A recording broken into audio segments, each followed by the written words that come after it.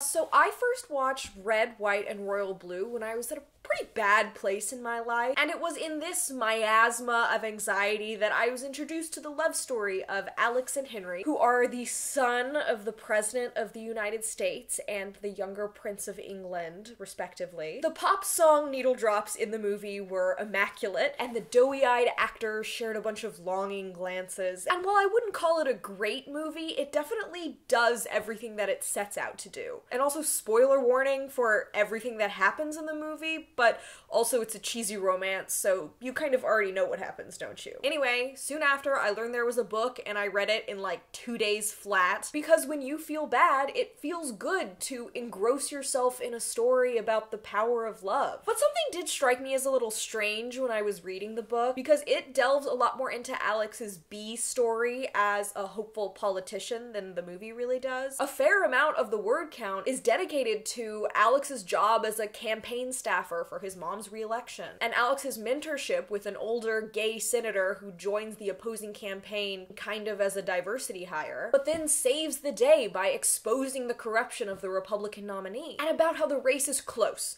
only made closer by Alex and Henry's scandal, and how the entire presidential election hangs on whether or not Texas will turn blue. And this weird feeling kind of crystallized when I realized that this book was kind of an alternate retelling of what would have happened if a Democratic senator from Texas won the presidency in 2016. And there was something about that that really irked me. Because not only is this a world where England shows up in droves for a gay prince, which, like, sure, that would be great. But this is also a world where a strongly principled good person wins the presidency. A campaign is successfully shut down when the public is exposed to blatant corruption on the part of the Republican nominee. And maybe most importantly for me, this is a world where a strong enough Democratic candidate actually flips Texas. And as we wade further into the murky, poisonous waters of another election year, where a presidential campaign is still going strong even though the nominee faces 91 felony counts, and Texas Is making it illegal to even whisper the word abortion. I've sat with this story and realized to myself that what I think's throwing me is that it almost feels like utopian fiction.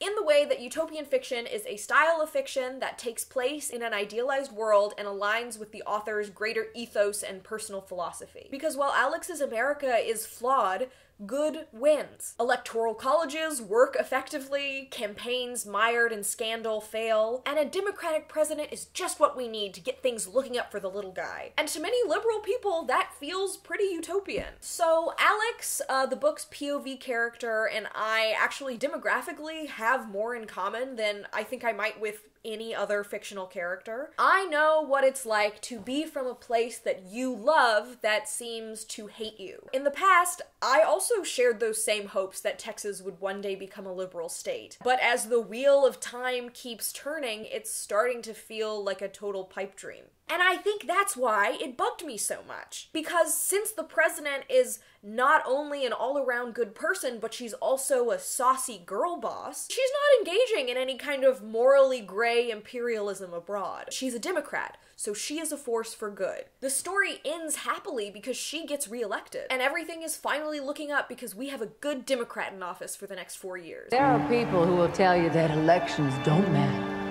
But try telling that to the auto worker in Michigan who worries whether or not their plant will be shut down. Tell that to the transgender high school student in Mississippi, voting for the very first time. Elections do matter because they give you a voice. And your voice is blended tonight with the voices of millions of Americans just like you. Open-hearted, fearless, and alive to a bolder, brighter, braver future. Okay, I'm editing. Um, I'm just inserting this because um, I don't want to be misconstrued. While I feel like this clip best represented what I'm trying to say, I did want to clarify that I do think it is much better to have someone who seems to have at least a basic respect for marginalized people in office. I think that by framing a Democratic president getting elected as like the answer to all of our problems as like the ending to a happy movie. And this is literally like maybe the second to last scene doesn't really speak to the fact that no matter what happens this country does seem to be set up to value um, capital holders more than more than people, which is evidenced to me most clearly by the incredible wealth gap that has only been growing and that I think we all feel in how much groceries we can take home, in the wages that we're getting paid at our jobs. Yeah, so I just wanted to say that elections do matter and vote, but also clearly they don't solve everything, do they? Okay, anyway, um, back to me. And while this frankly quite privileged view is definitely one that I used to share, it's safe to say it's not really an opinion I still hold. So I guess my question is here, which I'm sure you're all eager to know, is there any use for this kind of alternate history? Okay, maybe I have multiple questions. Here's another.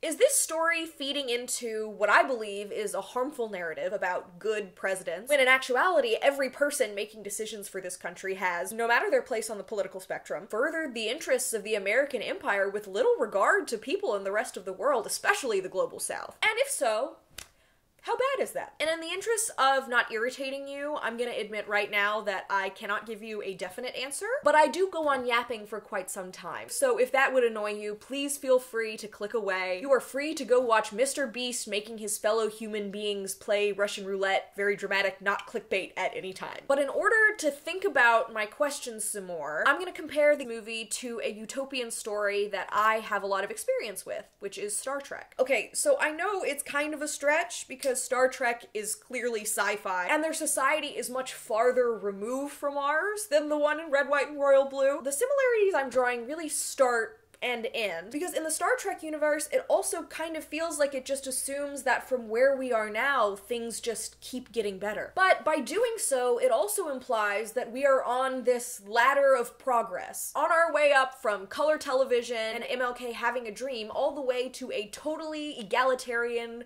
galaxy spanning human race. Implicitly, this also suggests the slightly more nefarious settler colonial narrative, where American capitalism and the way things are will lead us forward in a kind of righteous manifest destiny across the stars. And for a liberal white person in the 60s, I'm sure it felt like things were just gonna keep getting better and better. You know?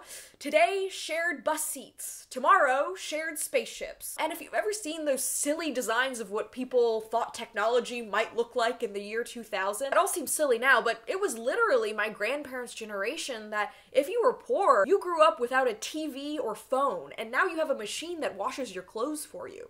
No one knew about global warming. Flying cars were next. So I'm just trying to say that all of that definitely feels a little more outlandish now than maybe it used to. Like Red, White, and Royal Blue, it's a little frustrating to me because it seems to ignore a lot of the world as it is in order to present an alternate future where everything worked out. Because, oh my god, Captain Kirk how much fracking did we have to do to get the Enterprise's fuel? How much of Starfleet's CO2 emissions contribute to the melting of the ice caps? The polar bears, Captain! Think of the polar bears! Now that it feels like we might actually have to work out a lot of very real, very scary problems right here on Earth, does that mean that a frivolous, unrealistic story like Star Trek can't have a real place in our lives? So, firstly, I just want to make sure that you know that I know that Star Trek was an adventure series first. And while its creators did believe in an equitable society, the main point of the show was to be fun. But it also asks wouldn't it be nice if maybe different kinds of people could work together and no one had to get too upset about it? And the relationships Kirk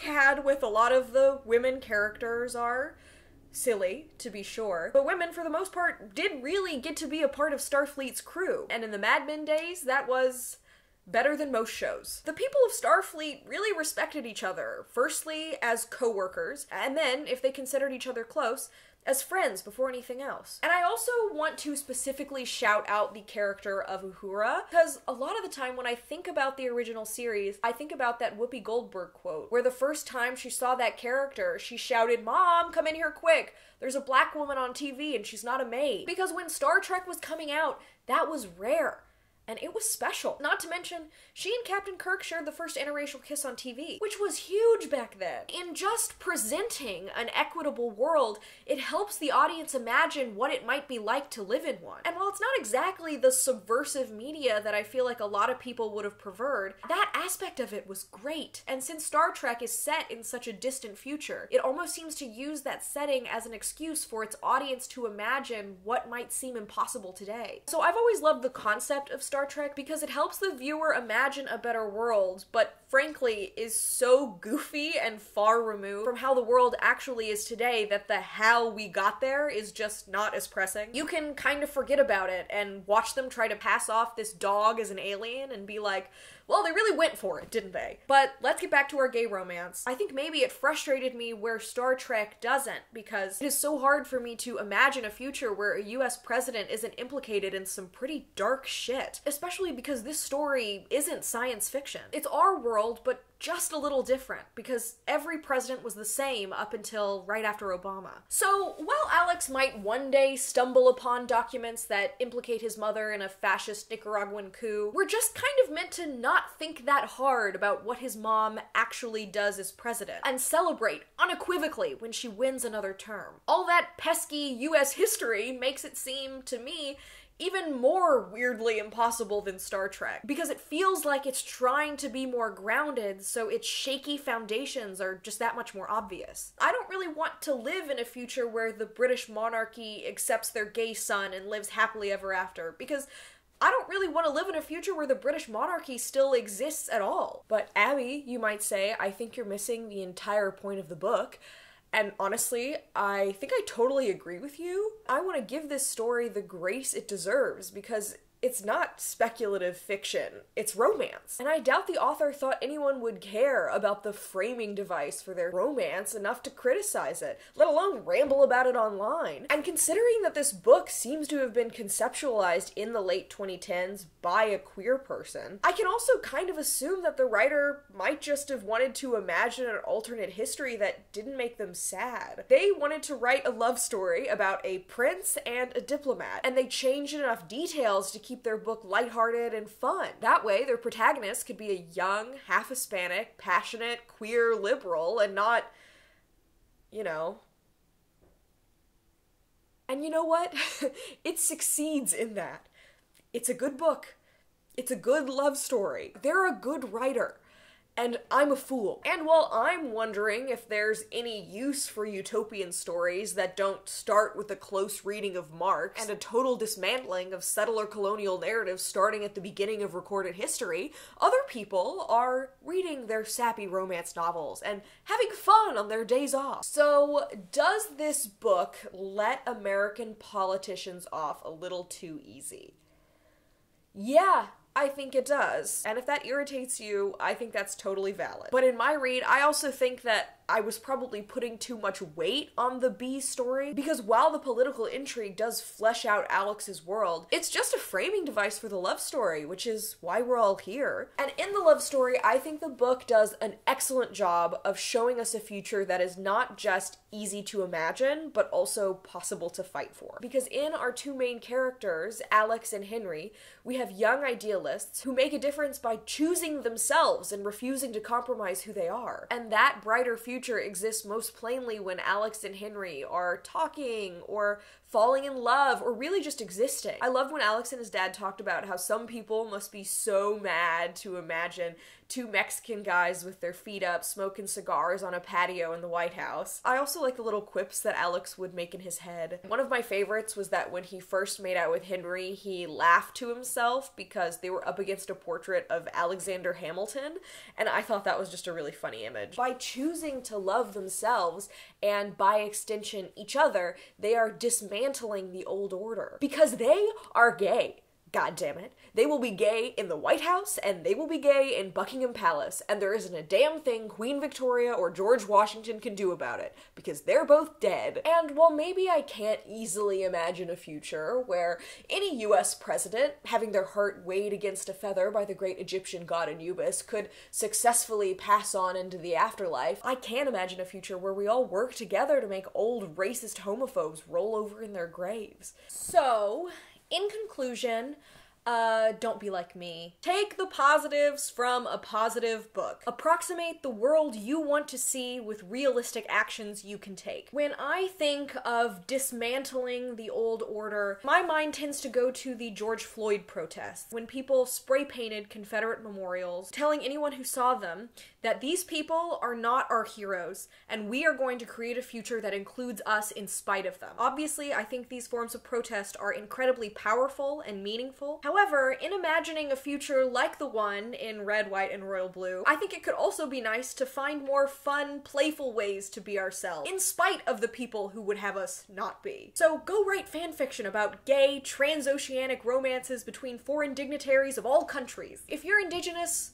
go take a shit in Andrew Jackson's house. If you're gay, go make out on top of Reagan's grave, because that's a future that this book presents that's realistic and we can all get behind. Let's call our congressmen. Let's try to dismantle systems of oppression through protest, through art, through anything that we can. But in our days off, let's just revel in being the people that George Washington never intended to be able to vote, because it is not Andrew Jackson or Ronald Reagan's world anymore. It's yours. Because they are old and dead, and you're alive. So live your life and fuck them. Anyway, thank you so much for watching. Um, if you didn't know that I was a snowflake before, um, you do now. This video assumes that basically you're a socialist. Um, and if you are, congrats. And if you aren't, I really encourage you to read A People's History of the United States by Howard Zinn. It will change your life. Anyway, I think that's all I have to say. Um, goodbye.